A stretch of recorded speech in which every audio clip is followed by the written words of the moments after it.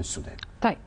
عندنا كمان يعني ال- الزيارات لإفريقيا بشكل عام اللي حضرتك أشرت إن هي يمكن كانت مهملة بشكل كبير ويعني الإهمال إهمال مثل هذه الزيارات أو مثل يعني اهتمام مصر بالشأن الإفريقي انعكس بشكل سيء جدا السنين الطويلة اللي فاتت على كذا جانب اللي إحنا ناقشناهم الاقتصادي والصحي والثقافي وكل حاجة خصوصا في ظل علاقتنا اللي حضرتك أشرت ليها أيضا على لسان الرئيس السيسي ورئيس آه، السودان آه، عمر البشير إن إن يعني ال- الموضوع علاقة مش مش اختيارية. إحنا إحنا تاريخ مصر والسودان تاريخ وتاريخ إجباري.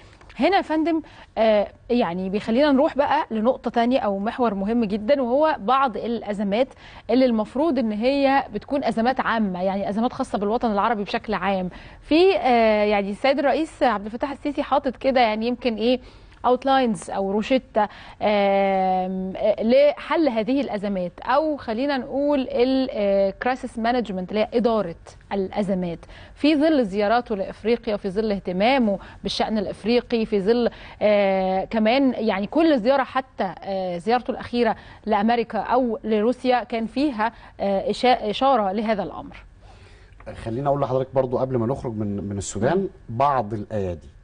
الخارجية حاولت العبث في العلاقة بين مصر والسودان مم. وكانت حكمة الرئيس سباقة في إنه يحتوي أي خلل ممكن يحصل في هذه العلاقة مم. إحنا شفنا آه، آه، بعض الدول الإقليمية آه، آه، حاولت كان لها زيارات السودان مؤخرا وحاولت آه، آه، آه، يعني آه، وق- وقيعة آه الوقيعة مم. بين مصر والسودان لكن ال- اللي أشار إليه الرئيس السوداني عمر بشير واللي أشار إليه الرئيس السيسي كان رد قاطع، أي آه. عبث بهذه العلاقة تمام آه إذا كنت حضرتك بتتكلمي عن آه آه إنه آه الرئيس السيسي كان حريص من البداية مم. منذ توليه رئاسة مصر إنه آه عينه على أفريقيا. ال- الدول العربية والإفريقية.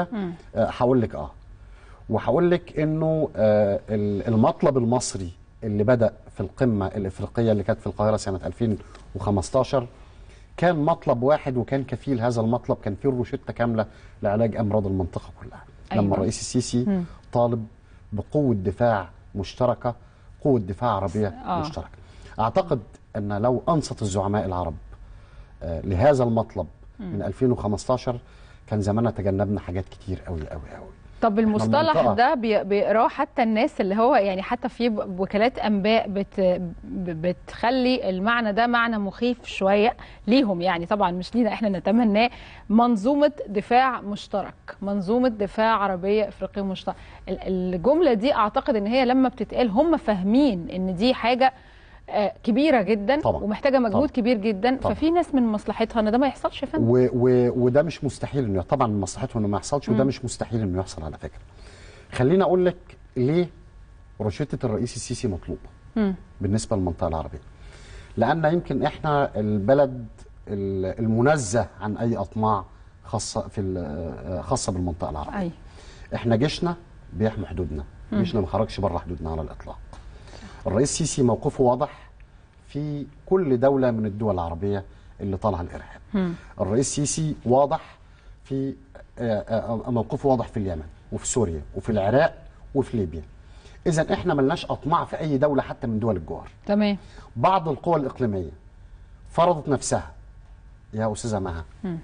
بقى عيب قوي في حقنا إن إحنا علشان نعرف إيه اللي بيحصل في بلادنا إن إحنا نحتاج مترجم يترجم لنا مائدة المفاوضات اللي بيجلس عليها. آآ آآ الأجانب أو ال- الدول الخارجية عشان بتناقش همومنا وبتناقش مستقبل منطقتنا.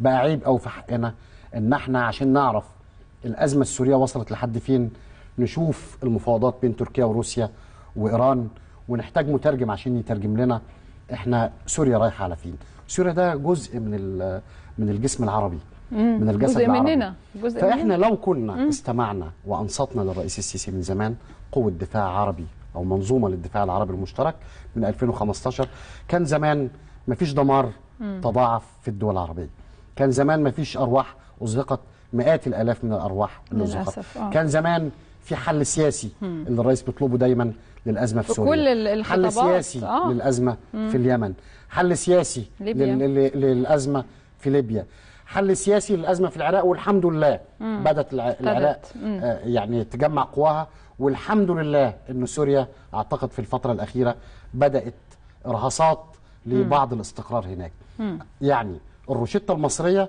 منزهة عن أي أطماع شخصية. بس بت... هتتنفذ حتى لو كان على المدى الطويل.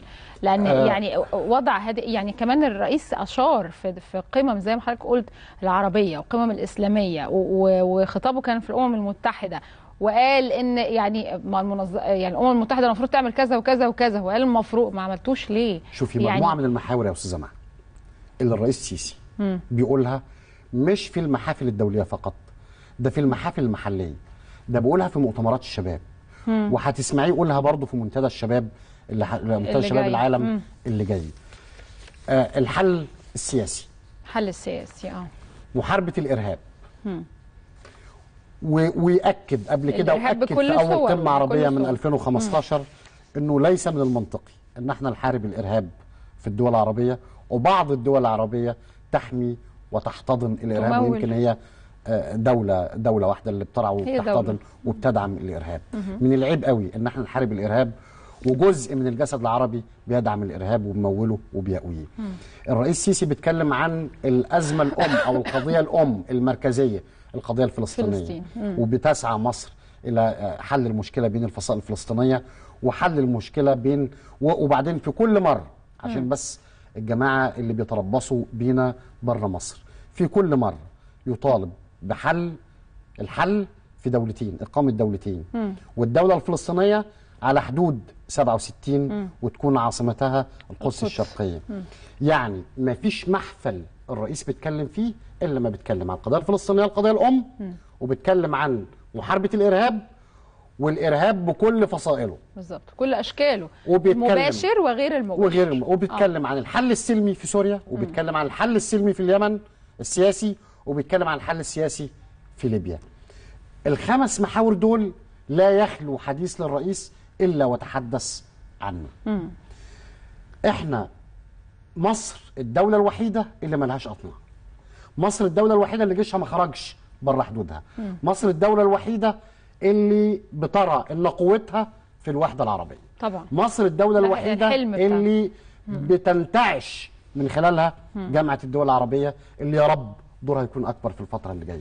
إذا زيارة السودان زيارة الرئيس السودان مرتبطة بالروشتة اللي وضعتها مصر من زمان لعلاج ال- ال- أمراض المنطقة العربية. طيب مصر لن تتخلى ابدا عن حلم الأمة العربية. لن تتخلى ابدا عن حلم ال ال الوحدة العربية ابدا مهما حصل. عارفين إن في مشاكل كبيرة جدا في الشرق الأوسط عارفين إن في إرهاب كتير جدا يمكن مش في الشرق الأوسط بس في العالم كله. بس برضو مصر مش هتتخلى عن هذا الحلم ابدا.